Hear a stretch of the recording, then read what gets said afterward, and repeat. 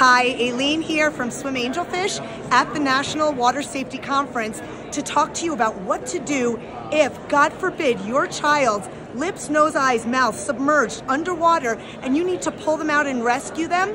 This is what you need to do immediately. We have Bobby Pratt, Maryanne Downing, and they're going to show us what to do. We're going to talk about hashtag drowning CPR, and here's why. There's so much news about hands only CPR. The hands only CPR is for the heart, it's for adult cardiac arrest witnessed by an untrained, it's training for an untrained bystander just for a short period of time before help arrives. And unfortunately, in drowning, it's usually children or a healthy person, and they are not breathing. So, the most important thing to do in drowning CPR is to restore breathing, get some oxygen in that body, and then start the compressions. And Bob Pratt will tell you exactly how to do it. How many breaths do you give, Bob? So, we're going to start out, we're going to obviously remove the child from the water, and if you're in the water and it's an infant, you can actually do this in the water, check them to see if they're breathing. We're gonna look, listen, and feel. And if they're not breathing or you're not sure if they're breathing or not, we're gonna start with two to five rescue breaths.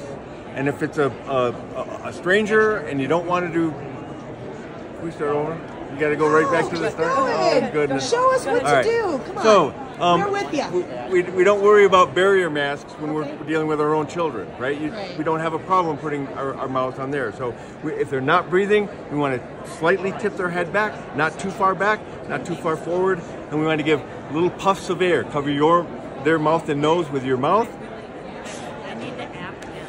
And you can see their chest rise and they might start crying right then and there. They might start throwing up on you also. I think people are afraid because they think if they don't do it right or they're not certified in CPR. so might, this yeah. is the message we want to say. That's what right. do we do if we see this? If your child is not How breathing, can we help? They don't want to make give them harm. breaths. They don't want to damage, you know. Their brain right. is starting exactly. to die if they don't have oxygen to their brain. So, so that is the most important thing. Their brain Get oxygen in yes. if your child yes. has drowned. Then we're going to check for a pulse. Check for a pulse on a baby on the inside of the upper arm.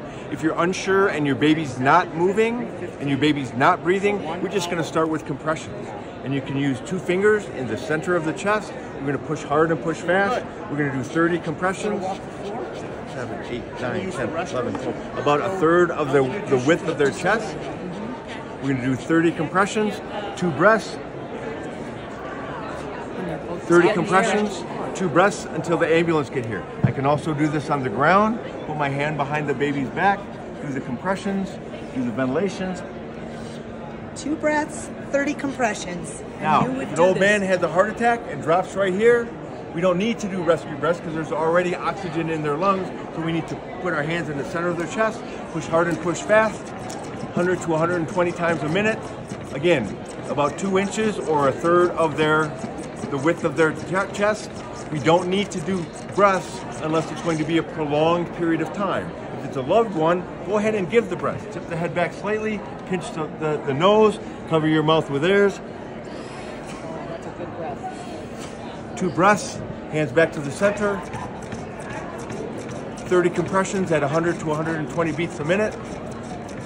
If there's an AED available, bring the AED, put the AED on them, have it analyze their rhythm to see whether it's a shockable rhythm. If it's a shockable rhythm, give them the shock, go right back to the compressions. So, in summary, there was a child drowning. First thing we do, give breaths. They need air. Get the air in their lungs.